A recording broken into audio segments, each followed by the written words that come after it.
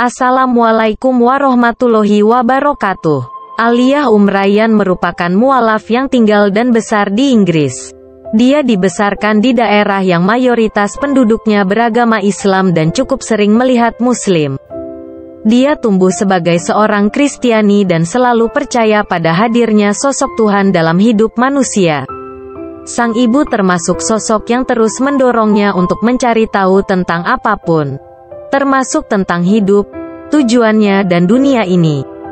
Jadi, meskipun saya seorang Kristen, saya merasa semacam ada celah kekosongan sejak saya muda.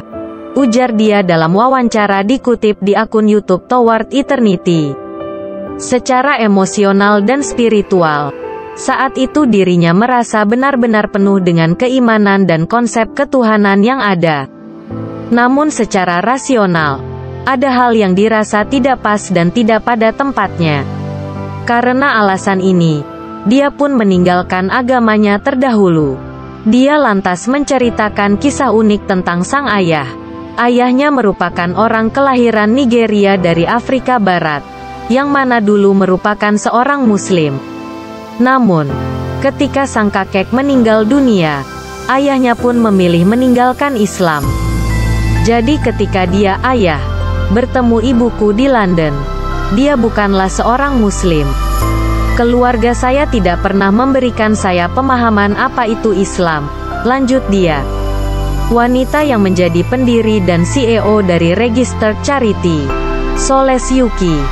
Ini menyebut pengalaman pertamanya melihat muslim beribadah terjadi di usianya 8 tahun. Kala itu, Seberang rumahnya adalah masjid yang terbuat dari kontainer dan ia merasa takjub melihat orang-orang melakukan sholat.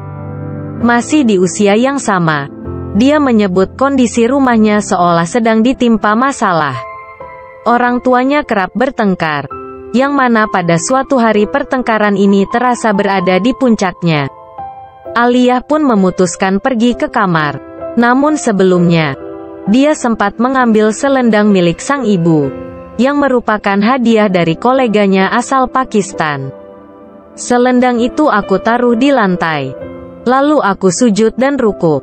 Seperti seorang muslim ketika sholat, ucap dia. Dalam kondisi sujud itu, ia berdoa agar pertengkaran ayah dan ibunya berhenti. Dia mengaku tidak sepenuhnya memahami apa yang dia lakukan saat itu. Semata-mata dia hanya menyontoh apa yang kerap dilihat di dalam masjid, di seberang rumahnya itu. Saat berada dalam posisi sujud, dia merasa saat itu adalah titik terdekat antara dia dan Tuhan. Momen ini pula yang dia sebut sebagai pengalaman pertama tentang Islam. Momen kedua terjadi dua tahun kemudian, ketika muncul berita salah satu teman kelasnya meninggal dunia karena tertabrak truk. Pihak sekolah kemudian mengajak seluruh murid untuk datang ke pemakaman. Saat hendak berangkat, Alia sempat bertanya pada temannya yang muslim untuk meminjam sebuah shawl dan ia mendapatkannya. Momen itu pula yang membuat ia pertama kalinya menginjakkan kaki di Masjid London Timur. Saat itu sepertinya aku adalah satu-satunya murid non-muslim yang pergi ke pemakaman. Aku ikut sholat zuhur dan sholat jenazah kata Alia. Saat sholat zuhur dan dalam kondisi sujud, dia mengaku merasakan kedekatan yang pernah dia rasakan dua tahun sebelumnya. Saat dia berdoa agar ayah dan ibunya berhenti bertengkar. Ini menjadi pengalaman keduanya berdiri dalam jarak yang dekat dengan Islam. Seiring berjalannya waktu, dia merasa kondisi keluarganya tak kunjung membaik, bahkan menuju ke arah yang semakin buruk. Kekerasan dalam rumah tangga menjadi hal yang tak terelakkan lagi. Dalam situasi itu, dia merasa Allah subhanahu wa ta'ala menempatkan seseorang di hidupnya yang sangat membantu. Dia adalah temannya di SMP, seorang muslim yang taat. Berteman dengan sosok ini dan berkaca pada kondisi keluarga yang sama. Bahkan kondisi temannya lebih buruk. Aliyah merasa ada yang berbeda dari sosoknya. Temannya ini digambarkan sebagai sosok yang sangat tenang dan damai. Ketika bertanya apa yang bisa membuatnya tetap tenang dan tegar, sang teman menjawab keimanannya lah yang membuatnya tetap bertahan. Dari situ, Aliyah pun mulai mempelajari dan mendalami Islam, bahkan membaca Al-Quran. Semula, dia belajar untuk menemukan sesuatu yang kontradiktif dan menyelamatkan temannya ini. Saat itu dia merasa hijab adalah sesuatu yang salah dan menahan sang teman dari kesuksesan. Momen saat itu sangat mengherankan. Di satu sisi aku merasa keimanan ini menghasilkan kedamaian yang indah pada sosok temanku. Tapi di sisi lain aku merasa iman ini akan mengekangnya. Ujar dia. Akhirnya dia sampai pada satu titik. Yang mana semakin dia mempelajari Islam. Dia merasa kewalahan dan takut akan apa yang dia percaya. Dia takut ketika dia menerima Islam. Dia harus meninggalkan kebebasan yang dimiliki saat itu. Aliyah pun memutuskan untuk meninggalkan sosok temannya itu dan segala hal tentang Islam. Namun, datang suatu waktu ketika harusnya dia belajar untuk ujian. Satu-satunya hal yang dia pikirkan adalah Islam. Bahkan, dia semakin teringat tentang bukti-bukti ilmiah yang ada dalam Al-Quran, maupun hal lain yang berkaitan dengan agama Allah Subhanahu wa Ta'ala ini. Untuk menenangkan pikirannya, Aliyah memutuskan untuk berjalan-jalan di sekitar rumah. Saat hendak menyeberang di jalur yang biasa dia lewati, tiba-tiba dia tersadar akan kemungkinan meninggal akibat tertabrak mobil.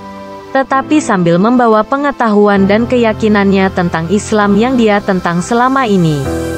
Jadi aku memutuskan untuk pulang ke rumah menelpon sang teman dan berkata jika dia percaya akan Islam dan secepatnya mengucapkan syahadat. Kata dia. Sehari setelahnya, atau di hari Senin, dia pun langsung mengucap dua kalimat syahadat ini.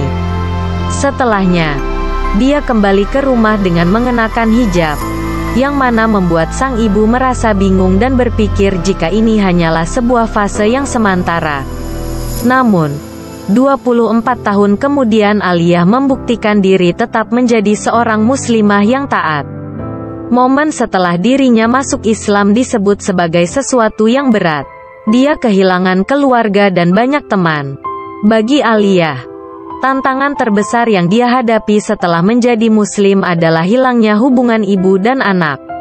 Sang ibu saat itu disebut sedang dekat dengan sosok yang baru yang mana dia sangat membenci Islam dan membuat ibunya juga membenci Islam.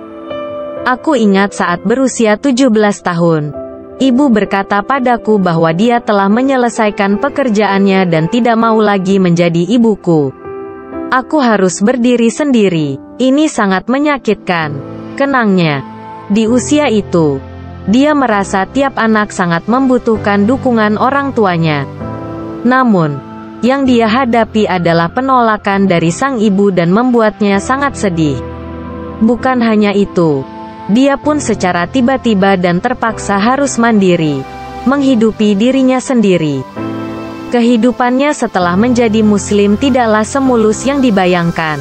Bukan hanya harus menghadapi masalah keluarga, Aliyah juga merasa dia tidak menemukan kelompok muslim yang membuat dia bisa merasa tenang dan nyaman. Hingga suatu hari, di tengah kondisi ekstrim ini, dia jatuh sakit dan harus dirawat di rumah sakit. Saat itu, dia menelpon sang ibu untuk meminta bantuan dan mengatakan jika dia berhenti menjadi Islam dan melepaskan jilbabnya. Beberapa waktu setelahnya, dia akhirnya mendapatkan pekerjaan dan bisa keluar dari rumah sang ibu. Di momen ini dia merasa kembali bebas dan tidak lagi menemukan tantangan seperti saat dia baru menjadi seorang muslim. Tetapi ada kekosongan di hatinya. Ada sesuatu yang membuatku merasa kosong dan sangat mengganggu. Akhirnya aku sadar jika ini terjadi karena aku menjalani hidup yang tidak sesuai dengan keimananku. Islam. Ujar Aliyah. Setelahnya, perlahan-lahan dia kembali ke Islam kembali ke Allah Subhanahu wa Ta'ala dan Islam, tanpa tekanan dari berbagai pihak atau paksaan dari seseorang. Murni dari hati baginya adalah jalan yang indah dan manis. Perihal hubungannya dengan sang ibu saat ini, Dia menyebut semua sudah kembali membaik. Ibunya telah meninggalkan hubungannya dengan pria baru itu dan ikut menjadi mualaf pada 2015 lalu. Allahu a'lam bisawaf. Assalamualaikum warahmatullahi wabarakatuh.